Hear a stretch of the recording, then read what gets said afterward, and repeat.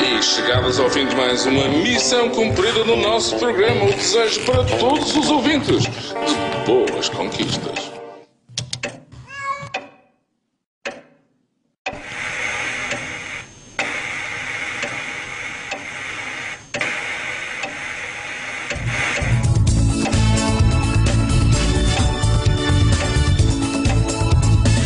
Sejam bem-vindos a mais uma edição do Telemix. Hoje, dia 5 de outubro de 2010, Portugal celebra o centenário da implantação da República. O Mix República chegou à Vila Velha de Rodão. Este é um projeto itinerante que irá percorrer 36 cidades ou vilas de norte a sul do país. O Mix República é uma produção da Monstra, Festival de Animação de Lisboa, co-produzido e apoiado pela Comissão Nacional para as Comemorações do Centenário da República. O objetivo é criar um conjunto de oficinas de cinema de animação inteiramente dedicadas à história da Primeira República. O Mix República eh, é uma produção da, da Mostra, com a parceria, em parceria com, com a, a, Comissão Nacional para as Comemorações do Centenário da República. E consta de uma viagem ao longo de 36 cidades e vilas da periferia, isto é, eh, fora dos centros principais do país, e, hum, e motivar eh, eh, as comunidades para o cinema de animação, à volta desta temática. Entretanto, a nossa equipa, um bocadinho mais ambiciosa, ou de uma forma mais ambiciosa, está a tentar fazer a primeira longa-metragem em cinema de animação, feita com as pessoas, isto é, ensinando a fazer ao mesmo tempo que estamos a fazer uma coisa que ultrapassa a pequena oficina. É sobretudo isso que estamos a fazer.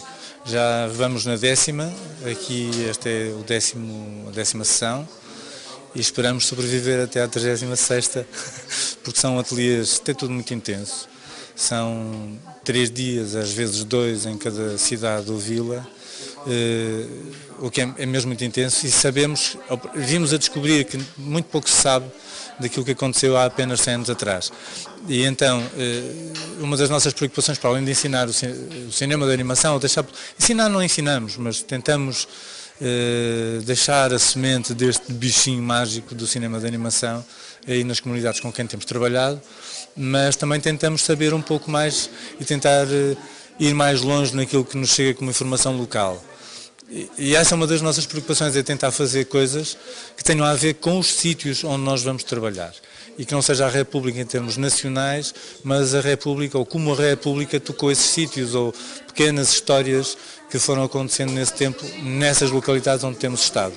E em Vila Velha o que é que, que, é que vão retratar? É uma coisa fantástica. Aqui nós descobrimos num sótão um filme de desenhos animados que nem a história do cinema animado mundial descobriu que existe. Não, estamos a fazer um, um filme uh, de dois minutos, que é essa a duração, e já é enorme para este tipo de coisa, um, baseado na história de um padre bombista.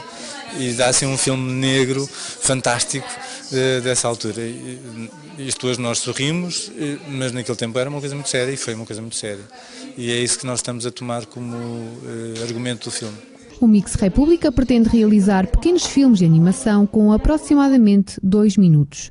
Para celebrar esta efeméride, convidamos uma senhora que tem a espantosidade de 110 anos e que partilhará connosco os seus momentos com a Jovem República. Como está-se, Dona Emília?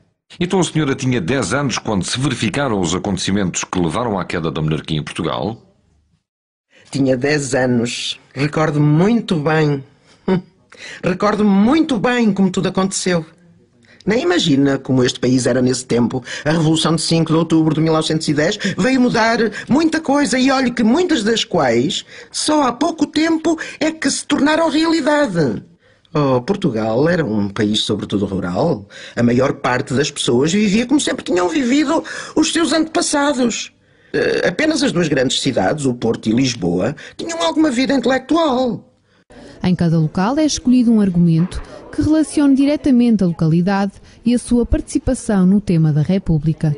Para quem não sabe exatamente do que falamos quando nos referimos a cinema de animação, aqui fica a explicação de uma profissional na área. Uh, cinema de animação é uma arte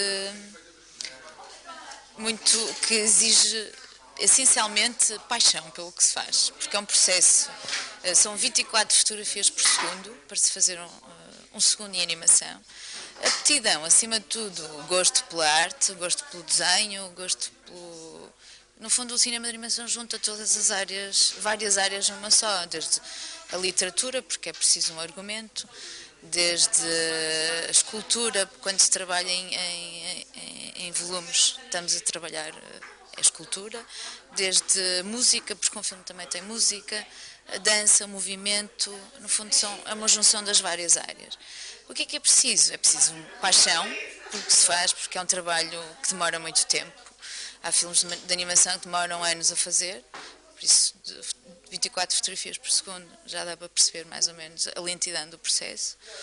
Uh, e depois passa por várias fases, desde a primeira fase que é saber qual é o, qual é o argumento que se vai fazer, depois definir uh, definir a técnica a partir do argumento. Existem várias técnicas e deve-se deve usar a técnica que, que, que, faz, que valoriza mais o argumento. Depois é a construção, depois do storyboard, a construção dos cenários, das personagens e depois parte-se para a animação. E depois a gravação de sons também, que é necessária, porque o filme de animação é imagem e som. Depois é a montagem final.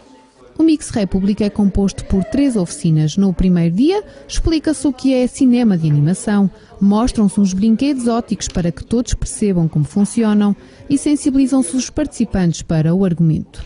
O segundo dia, que corresponde ao dia de hoje, é dedicado à construção do storyboard, construção de cenários e, por fim, começa-se a animar até ao terceiro e último dia.